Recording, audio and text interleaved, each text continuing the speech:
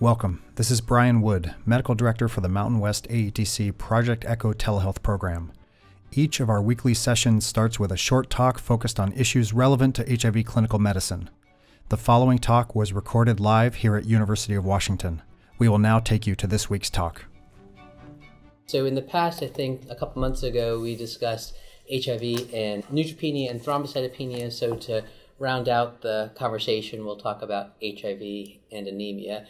And there are additional sort of hematologic manifestations that you all are aware of with regard to HIV, including coagulation, that may be a conversation at a different time. But in the interest of time, I limited this one to HIV and anemia. And so I have no conflicts. So, just with a brief one liner, I know you all see this patient quite often a patient, a 36 year old woman diagnosed with HIV 12 years ago on antiretroviral therapy who provides now with a six month history of exertional dyspnea.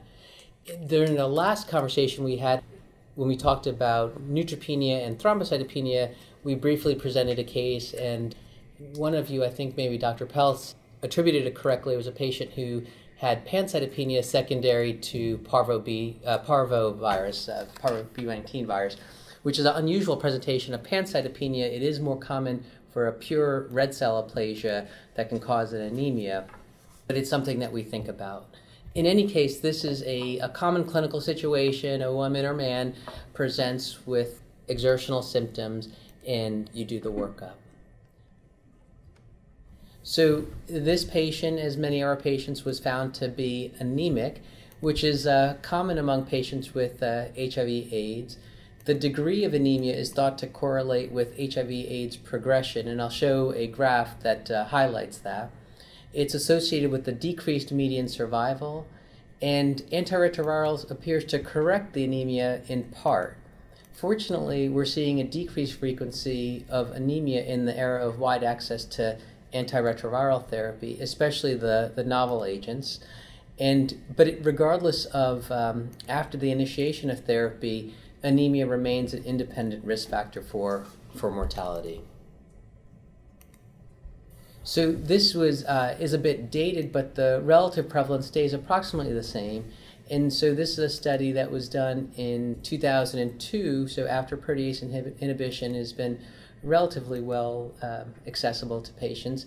And this is a study of about a thousand HIV infected patients, African American patients, and Caucasian patients. And you can see the prevalence of anemia was 40% nearly among HIV positive African American women and 30% in African American men, and uh, nearly half or a third as prevalent among Caucasian um, men and women, respectively. This um, study, as many studies, I think one thing important to recognize is that the definition of anemia varies by study. In this study, like a few that we'll talk about, used a threshold of less than 14 as being anemic. And there's degrees of severity of the, the anemia.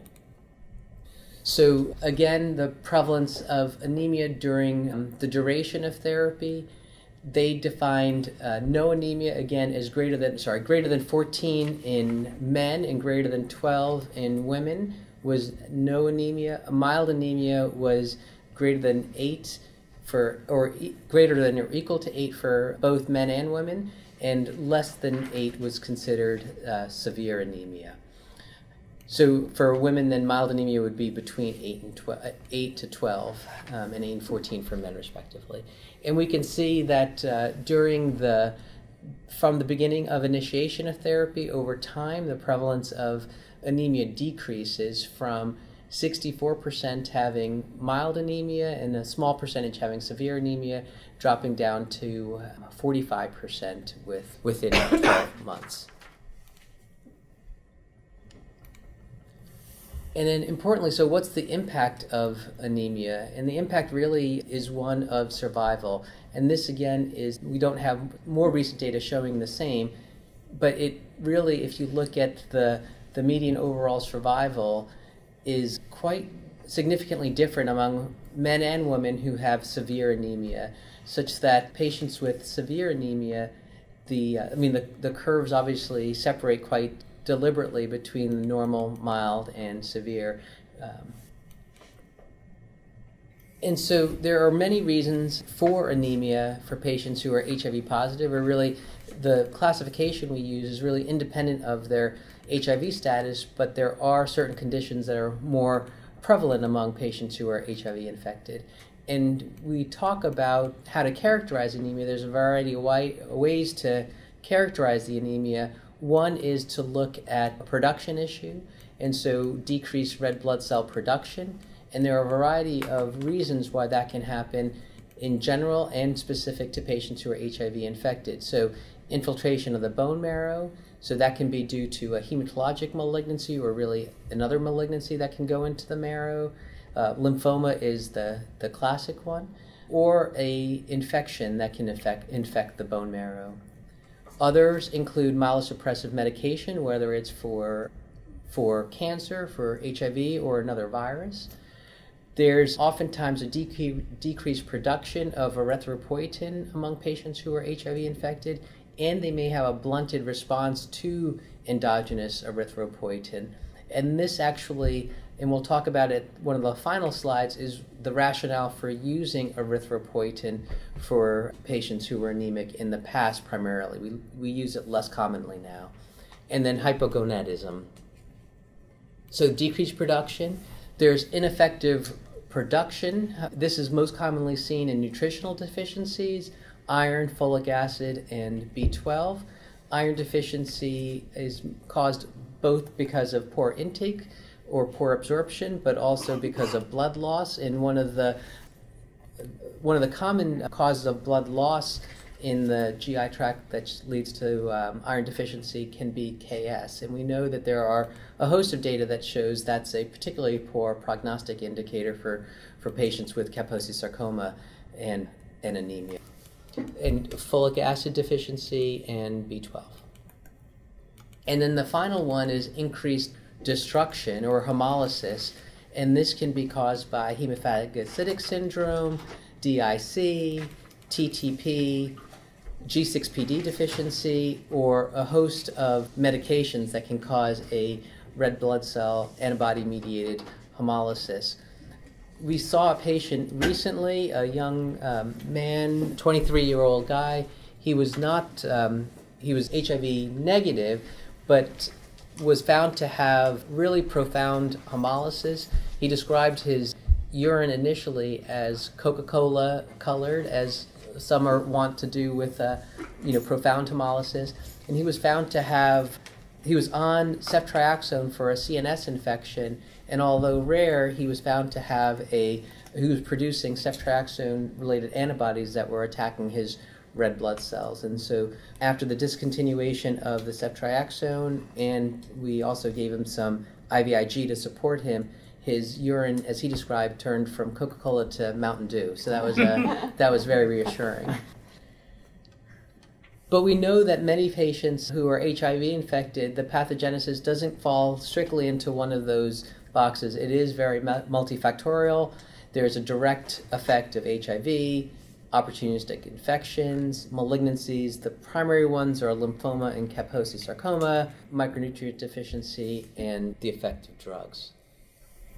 And again, the etiologies are vast anemia of chronic disease, myelosuppressive drugs, AZT, antimicrobials, anti chemotherapeutic agents, hypogonadism, as we mentioned, the nutritional deficiencies, HLH, myelofibrosis or myelodysplasia, malignancy, and then opportunistic infections, including parvo B19, parvovirus B19.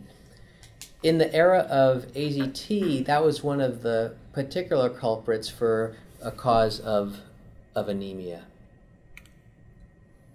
we don't have to go over all this list, but really, most drugs that our patients are taking, whether they're antivirals, antiretrovirals, antifungals, medications uh, targeting PCP or PJP, and then all of our chemotherapeutics can cause a anemia. And so the diagnostic approach really is is the same independent of HIV status. We first review the blood smear to rule out potentially catastrophic things, including the hemolysis. and looking for both the presence of a microangiopathic hemolytic anemia with the presence of schistocytes and a low platelet count that would make a diagnosis of, or, or you'd consider the diagnosis of TTP, which is a medical emergency, as you know, and would require plasma exchange. Uh, the TTP is more, it's still rare, but it's more prevalent among HIV infected patients than uninfected patients. So the first thing we do, do is to review the blood smear. Then we characterize the anemia by the MCV and the reticulocyte count, and it gives us clues into the etiology of the anemia. So a low MCV, we typically would subsequently obtain iron studies in the right sort of ethnic background. We would consider also thalassemias in the right clinical context, both in terms of the acuity of the situation or the chronicity of the situation. We would think of things like thalassemia.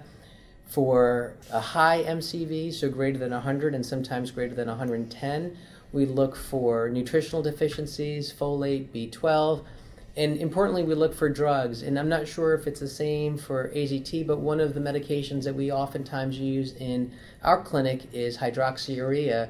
And we actually use the MCV to sort of assess adherence to that medication, such that if their MCV is normal or low and they're on hydroxyurea, we worry about that they're not taking their, their medication. And I suspect that was probably used in AZT uh, adherence as well. And then if it's a normal MCV, we look at bone marrow infiltration, whether it's by HIV or a another infection. And then again, in addition to the, reviewing the blood smear that would assess hemolysis, we look at a reticulocyte count, and typically patients with hemolysis have a, a very high reticulocyte count, suggesting that they are trying to make up for the, the loss and destruction of red blood cells. And again, hemolysis can be autoimmune, microangiopathic, and we look for G6PD deficiency, especially in the right clinical and ethnic context. So the treatment of anemia really depends on clinical uh, symptoms and signs, and the treatment is trans- really blood transfusion. There, there was a time um, in the early part of epidemic, or even you know 20 years ago or so, where we looked for other causes of anemia, and once, and then we initiated therapy with erythropoietin, and typically on a weekly basis, in conjunction with iron, we monitor the response, and then depending on how the response was, we increased it. This was primarily due to anemia secondary to AZT, and it was a FDA approval to use erythropoietin in this context for AZT induced anemia.